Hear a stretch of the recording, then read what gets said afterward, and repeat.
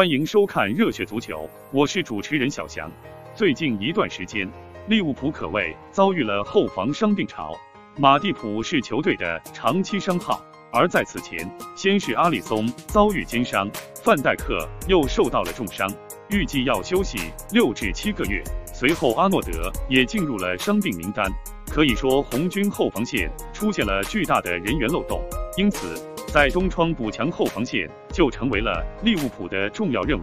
日前，根据葡萄牙 SIC Noticias 的报道，明年冬窗，利物浦已经将目光锁定在了奥林匹亚科斯中卫鲁本·塞梅多的身上。在失去了范戴克和乔戈麦斯之后，克洛普希望可以在冬窗引进一名经验丰富的后卫。在进行了膝盖肌腱手术后，戈麦斯也已经踏上了漫长的康复之路。在英格兰队的训练中，戈麦斯遭遇重伤，报道称他甚至痛苦地在地上打滚。接连损失主力之后，塞梅多就成为了利物浦的目标。葡萄牙 SIC Noticias 报道称，利物浦正在考虑签下塞梅多，并准备为其提供一份为期五年的合同。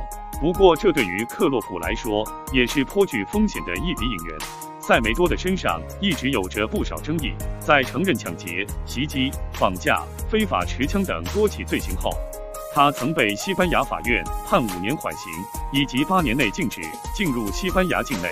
不过，在转会加盟奥林匹亚科斯之后，塞梅多的表现逐渐稳定，也时常有着亮眼的发挥。而除了塞梅多外，利物浦也在关注其他目标，包括沙尔克。零四中卫卡巴克以及布莱顿中卫本怀特。不过，在利物浦传奇球星卡拉格看来，目前只有一名球员能够胜任为利物浦效力。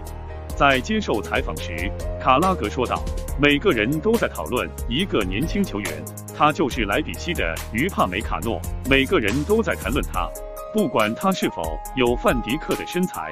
我认为他只有六点一或六点二英尺。”所以他可能还没有那么高，但如果利物浦想要得到他，那他们就应该出手，多支付一些钱，在明年一月就把他签下来。